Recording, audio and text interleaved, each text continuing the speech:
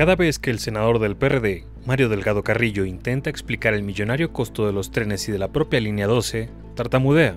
El exsecretario no tiene datos precisos, menciona aproximados, pero defiende a capa y espada el hecho de haber autorizado la compra de la flota en 1.588 millones de dólares, a pesar de que habían reportado ante la Secretaría de Hacienda y Crédito Público la compra de los mismos en tan solo 6 mil millones de pesos y luego se enfrasca en explicar que la renta de los trenes se encareció debido a que se contrataron con un paquete que incluye el mantenimiento.